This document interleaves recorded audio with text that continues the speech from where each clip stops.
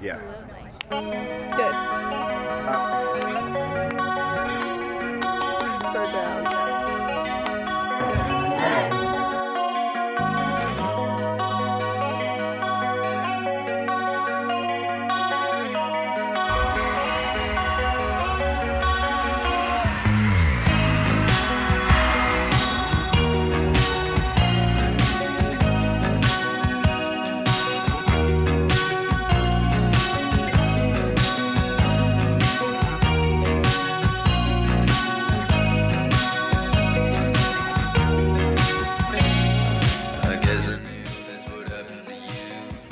What are you looking forward to most senior year?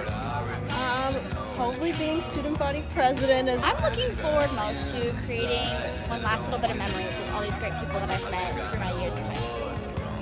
making a lot of friends and a bunch of content for CDS TV. I'm so excited for that responsibility and uh, just the spirit that comes with it. I'm really, really excited to take it. I'm really excited for all the senior events. I'm super excited for football games and being in the front row and also leading student council assemblies. What are you looking forward to most senior year? Just getting out of high school because I don't want to deal with much of this stuff anymore. I'm over it. I've been looking forward to my senior prom since freshman year. It really has a different experience than junior prom. What have I been looking forward to most since freshman year? Uh, probably the senior traditions example. We're at Sunrise right now, and I'm super excited for all the senior-based activities that we have planned. All the senior experiences, honestly, I don't have just one. Uh, forward to getting to come out with everybody and enjoy this beautiful sunrise, but that didn't last very long. Um, I guess this happened a couple years ago, but driving and getting to drive myself places that, like, every single time I drive, I just get so excited uh, because it's all you've wanted for your entire life. Um, and definitely to graduate and to get out. What piece of advice would you give to your freshman self? I guess, I mean, I guess it's kind of generic, but it does really go by super fast. Like, I thought sitting in the first quarter of freshman year was going to take so long.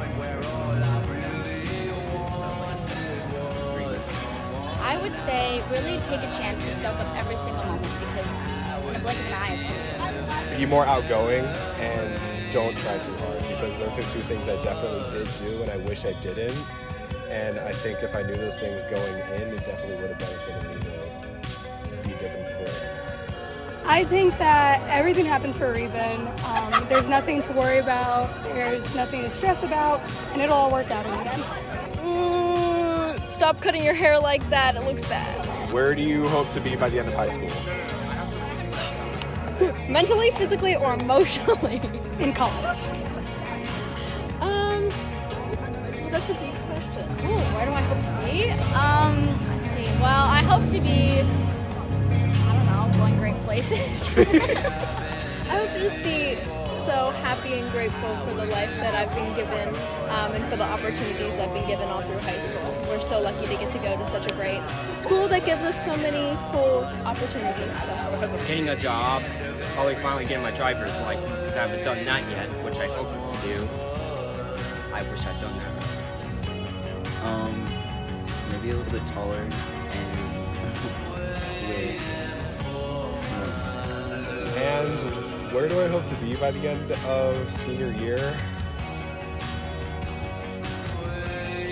In college.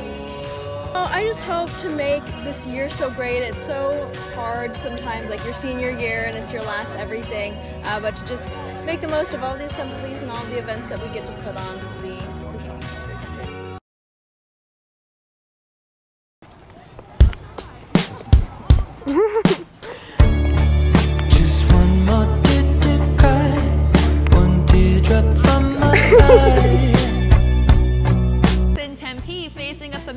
foe in the Marcos.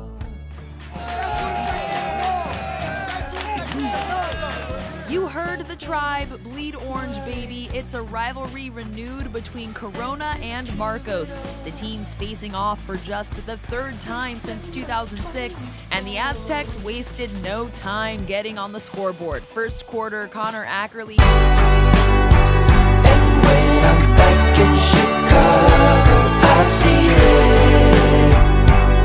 Another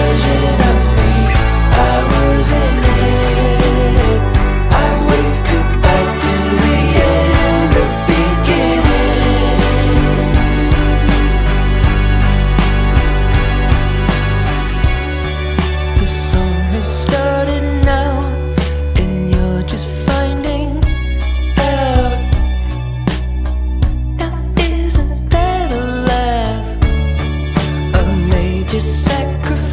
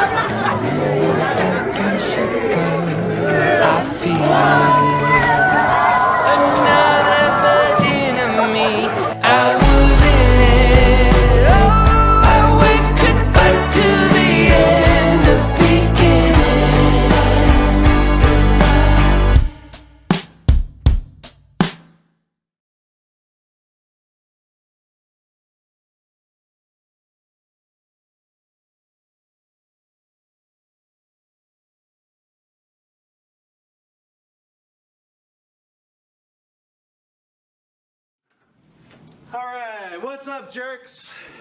Okay, hope everybody's ready to learn because we are talking about color theory today.